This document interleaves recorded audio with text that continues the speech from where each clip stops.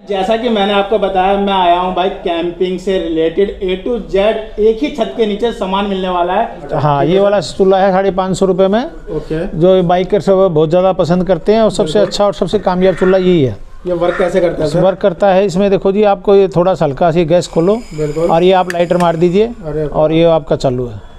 और हमारा सिलेंडर आप कहीं ले जाओ कभी भी ले जाओ कोई भी भाई को अगर ये लगे तीन घंटे नहीं चलता है तो मेरे पास वीडियो भेजो मैं आपको डेढ़ सौ के बजाय तीन सौ रुपये वापसी करूँगा। तो लोगों में पहाड़ों में हवा ज़्यादा चल रही है तो विंड आ रही है तो ये विंड को रोक देगी। आपको चाहे आप इस ऐसे बाद में एक ही बोलते हैं ना दुनिया का सबसे छोटा स्टोव दुनिया का सबसे छोटा ये हाँ ये इसके अंदर ये पैक आता है कैंसर कंपनी का है है और ये अंदर ये बुटेन है साढ़े चार सौ ग्राम।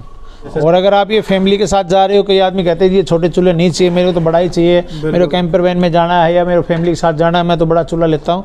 तो इसमें भी यही ऑप्शन है आप इसमें बुटेन लगाओ इसमें चाहे एल लगाओ। ये बारबेक्यू है जी। ओके इसके अंदर सारे आपके बारबी